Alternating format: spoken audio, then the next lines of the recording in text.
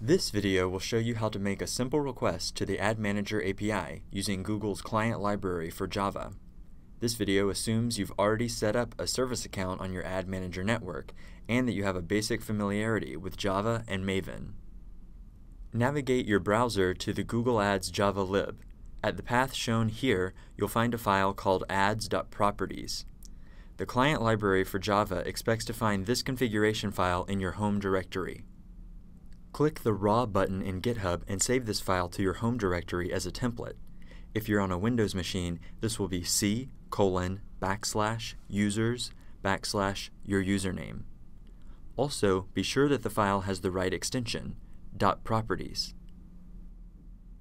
Next, open the ads.property file in a text editor. First, you'll need to enter an application name. This is a string that will be sent to Google with every request and should identify your application.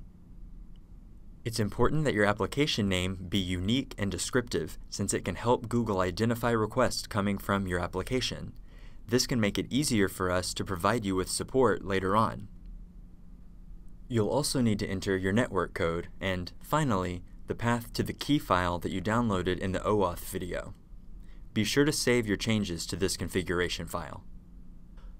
We're almost ready to start writing Java code. Open up your development environment and create a new Maven project. In this example, I'm using the free IntelliJ Community IDE.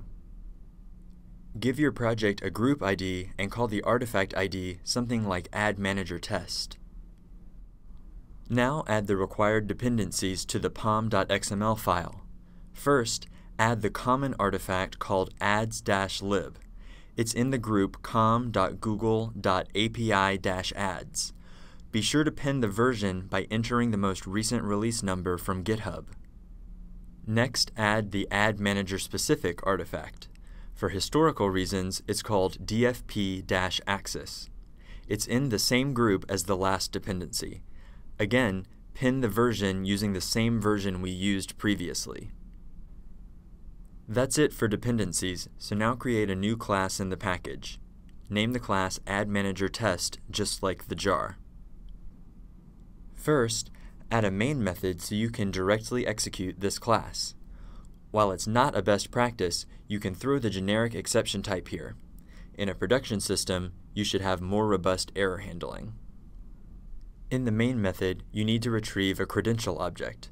Use the offline credentials builder to do this. Notice that IntelliJ is automatically including the import statements. These are required to run the example. Then use the for API method and specify Ad Manager as the API. Next, use the from file method to access the ads.properties file that you created in your home directory. Finally, call build and generate credential to retrieve the credential object.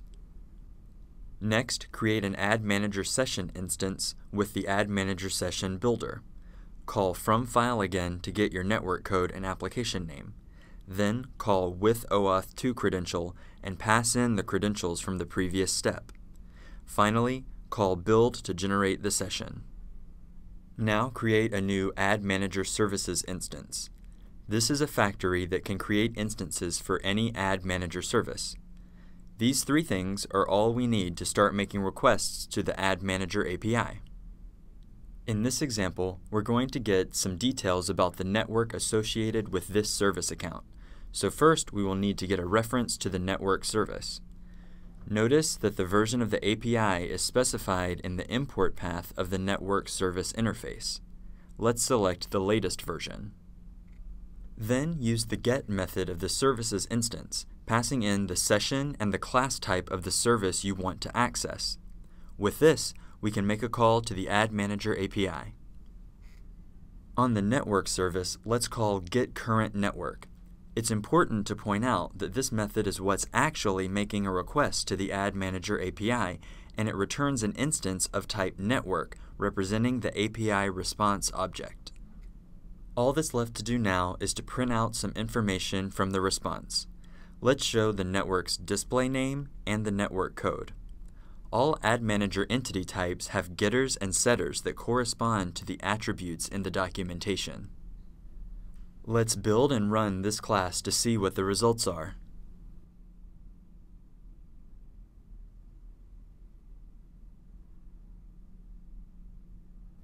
As you can see, it has printed out the data it retrieved from the Ad Manager network. And that's it. You are now up and running with the Ad Manager API using Google's client library for Java.